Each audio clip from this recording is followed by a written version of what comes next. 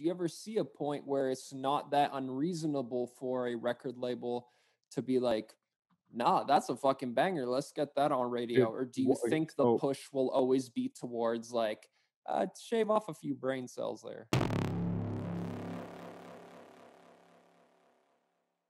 There was an interview with J. Cole where he was talking about, you know, pre uh like quote unquote blowing up or whatever. For for anybody that remembers, you know, that kind of time, it was around when he released that song Workout. There was an interview where he was talking about how he had all these songs with very deep lyrical content and um when he actually got signed and went to the label and stuff, they're like, yeah, this is cool, but there's no like radio singles in here. There's nothing that's going to get people to latch onto. And he had to sort of quote unquote dumb it down. I think it's a great song, but like a lot of his fan base was very disappointed at the time. Found that very interesting. Talking about his track workout, Yeah, which by the way, fucking great great. song. But then Yeah. again, he let Nas down. Did he? Are you familiar? He he came out with a whole song on one of his subsequent albums called "Let Nas Down." Oh man, okay, well then that is the next song. Let's peep it. Yeah. J. Cole was at that point where he was like an underground rapper, getting a lot of success as an underground rapper, had really cool topics, really, you know, really a lot of, you know, more woke type of shit going on in his lyrical content and and amassing like a really good organic fan base, well marketed to this fan base, uh, getting on a lot of blogs. You know, this is still deep and heavy in the blog era, like 2010 through 2012. And um, he ended up getting signed to Rockefeller Records with Jay Z. And he had this album that they were getting ready to put out, but the label just kept telling him, like, nah, we need that one single that we can really push to radio. He'll tell the story, and I got the lyric video, so anybody watching on YouTube can follow along with the lyrics make it a little easier. But basically, you know, they made him put out the song, and Nas had previously said that he's like, "Oh, this, you're the one, J. Cole. Like you're the, you know, you're the shit. I love you," and that's his hero. And then he finds out through the grapevine that Nas does not like the hit single he worked so hard to put together for the label, and that he let Nas down. And this is his thoughts about it. And by the way, I I love that you guys are getting to hear this probably for the first time uh, because I listen to this all the fucking time because it's actually like one of my wake up alarms on my phone. Like I got a few songs that that I bump, and a few of them are J Cole, just because I happen to have this uh, entire album, Born Sinner, uh, on on my phone. But here we go. Rundown. Let Nas down. Freedom of jail, clips inserted. A baby's being born, same time a man is murdered. The beginning and end. As far as rap go, it's only natural. I explain my plateau and also what defines my name. Yeah, long live the idols, may they never be your rivals. Pac was like Jesus, Nas wrote the Bible. Now what you're about to hear is a tale of glory and sin. No ID my mentor, and I let the story begin. I used to print out Nas raps and tape them up on my wall. My niggas thought they was words, but it was pictures I saw. And since I wanted to draw, I used to read them in awe. Then he dropped Stillmatic, rock the cleanest for law. Fast forward, who'd have thought that I would meet him on tour? I'm earning stripes now, nigga, got Adidas galore. Backstage, I shook his hand, let him know that he's the man. When he said he was a fan, it was too hard to understand. No time to soak up the moment though, cause I was in the jam. Hove asking where's the record that the radio could play, and I was striking out for months. Ninth inning, feeling fear. Jeter under pressure, made the biggest hit of my career, but at first that wasn't clear. Niggas had no idea. Dion called me when the drop sounded sad but sincere. Told me Nas heard your single and he hate that shit. Said you the one, yo, why you make that shit? I can't believe I let Nas down. Damn, my heart sunk to my stomach. I can't believe I let Nas down. I got defensive on the phone, resentment was in my tone. Fuck it, long live the idols, may they never be your rivals. Pac was like Jesus, Nas wrote the Bible. Now what you about to hear is a tale of glory and sin. No ID my mentor, now let the story begin. I couldn't help but think that maybe I had made a mistake. I mean, you made you owe me, dog. I thought that you could relate. But while I shot up the charts, You mean telling me that I was not up to par when I followed my heart? Granted, my heart was tainted by my mind and kept on saying, Where's the hits? You ain't got none. You know Jay never put your album out without none. And dog, you know how come labels are archaic, formulaic with their outcomes. Huh? They don't know, they just study the charts. Me, I study the shows, the fans, study their hearts. I had a feeling I was killing in this music we was spilling out. Would change lives forever. Fuck the label, put it out. Friday Night Lights, Blue, that was classic number two. Now it seemed as if the Nas comparisons was coming true. Still no release date from the label. Are they insane? Gooch told me play the game to change the game, but on the way I let Nas down. Damn, I got no one to blame. I'm ashamed I let Nas down. But this is God's plan, you can never understand. Fuck it, long live the idols, may they never be your rivals. Pac was like Jesus, Nas wrote the Bible. Now what you about to hear is a tell of glorious sin. No ID my mentor, and I let the story begin. I always believed in the bigger picture. If I can get them niggas to listen outside my core, then I can open the door. Reintroduce them to honesty, show them that they need more. The difference between the pretenders and the Kendrick Lamars. And so I took the fall. Like the son of the Lord on the cross, dying for that fake shit you niggas bought for the past decade. If I should pass, please let this be my last essay. Before I write from the heart, apologies to OGs for sacrificing my art. But I'm here for a greater purpose, I knew right from the start.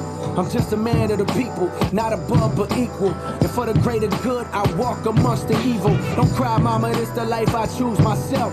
Just pray along the way that I don't lose myself. This is for the nigga that said that hip hop was dead. I went to hell to resurrect it. How could you fail to respect it? Letting Nas down. I got the phone call quietly. I'm on, dog. I let Nas down. Yeah. And on this flight, may I never lose sight. Fuck it. Long live the idols, may they never be your rivals. Pac was like Jesus. Nas wrote the Bible. Now what you just heard's a tell of glory and sin. No ID my mentor, and I let the story begin. Begin.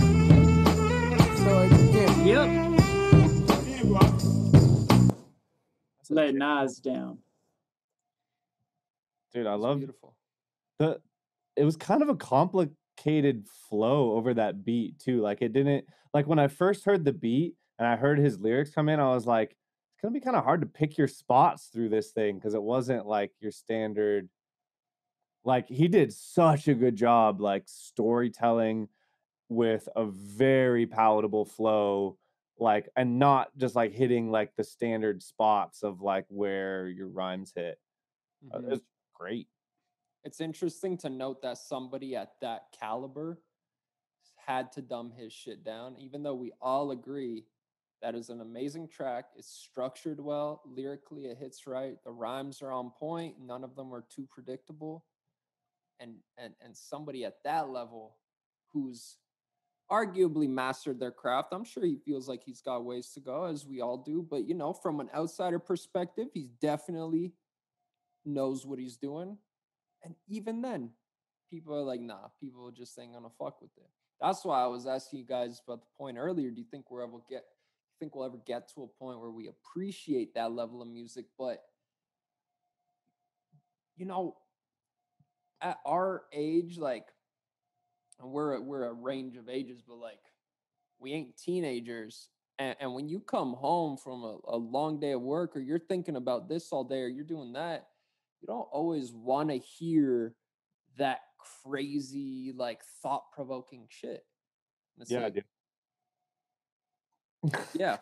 Well, I I a I taste liken it as you get older. there's I don't know if y'all watch the show Insecure, but there's a moment where one of the main characters is a music producer and he's uh, playing beats in his studio and his niece is over and he's playing these beats that are like these really well put together hip hop beats, you know, something kind of in the vein of what we just listened to on this track.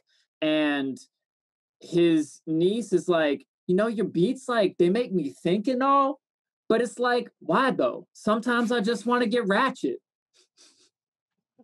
Amazing. Sometimes And- you just gotta Oh my bump God, wow. That's literally sums it up.